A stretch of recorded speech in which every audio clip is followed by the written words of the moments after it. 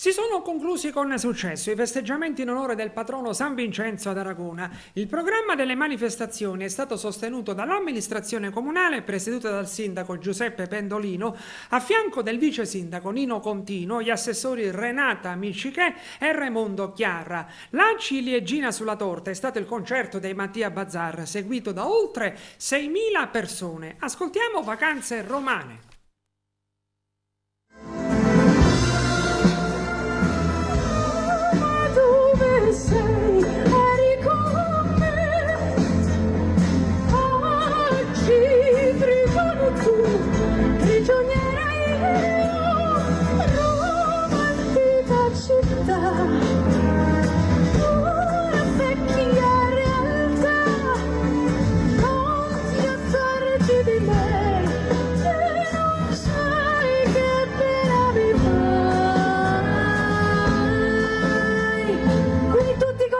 cielo dai ma